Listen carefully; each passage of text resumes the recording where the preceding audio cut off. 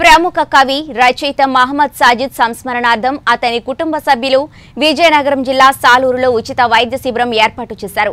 సాధారణ వైద్య సేవలతో పాటు కంటి వైద్య శిబిరం కూడా నిర్వహించారు. ఈ సందర్భంగా ప్రముఖ వైద్యులు వి. గణేశ్వరరావు మోహన్ రావు చక్రపాణి తదితరులు రోగులను పరీక్షించారు. అంతేకాకుండా అవసరమైన మందులను ఉచితంగా అందజేశారు. ఉచిత వైద్య సేవలను అధిక సంఖ్యలో రోగులు సద్వినియోగపరుచుకున్నారు. ఈ కార్యక్రమంలో భాగంగా మహమ్మద్ సాజిద్ ఆయన సతీమణి సబేరా బేగం మాట్లాడుతూ ఈ వైద్య శిబిరాలు గత తొమ్మిది సంవత్సరాలుగా నిర్వహిస్తున్నామని ఆమె తెలిపారు. అలాగే నిరుపేదలు ఎవరైనా సరే తమ దగ్గరికి వచ్చినట్లయితే తప్పనిసరిగా వైద్య సహాయం అందుబాటులో ఉన్న వైద్యుల ద్వారా సేవలు అందిస్తామని తెలియజేశారు.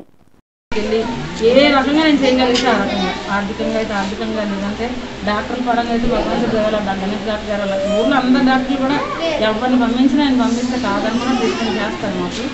ఆ డాక్టర్ల సహకారం ఉండబట్టి చేయగలిగింది మనం డబ్బులు పెట్టిన డాక్టర్ సంతానం రావాలి కదా. వాళ్ళు చూసి రెఫర్ చేసి కొన్ని మందులు వాళ్ళే ఇచ్చి ఒక్కోసారి అయితే అప్పుడు డబ్బులు తీసుకోకుండా గణేష్ డాక్టర్ నేను నేను పేషెంట్ పంపిస్తే ఆయన డబ్బులు రూపాయి తీసుకోరు.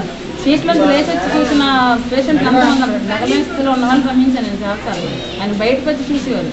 ఆ అమ్మాయి పంపించిందంటే గ్యారంటీగా వాళ్ళు ఎంత అవసరమైన వాళ్ళు అయితే తను పంపిస్తుంది అందుకనే పంపిస్తాను. ఒక నమ్మకం ఆయనకి నా మీద. తర్వాత రీసెంట్గా ఏంటంటే మనకి ఎండలు ఎక్కువైపోయి చెట్లు కొట్టేస్తున్నాము. పంటలు సరిగ్గా లేవు ఈ కారణం వల్ల ఏంటంటే పక్షులకి తిండి లేకుండా అవుతుంది సమ్మర్లో.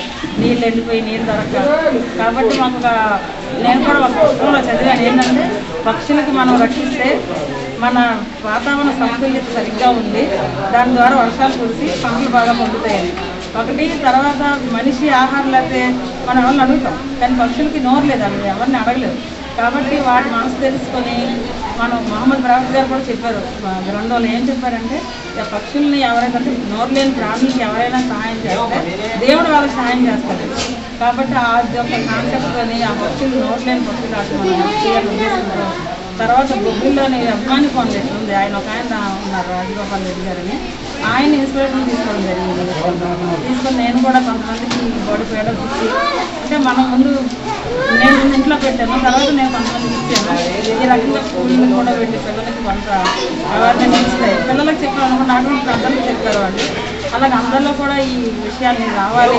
అంటే ప్రచారం అవ్వాలి. పక్షులకు కూడా మనం సహాయం చేయాలి వాటి కొంచెం మనిషికే కాదు మనిషి మనల్ని అడుగుతారు. మనకు చాలా చేయకపోయినట్టు కానీ పక్షులు అన్నవి అడగదు అటువంటి పక్షులు ఎవరు లేని పక్షులు కూడా మనం సహాయం చేస్తాం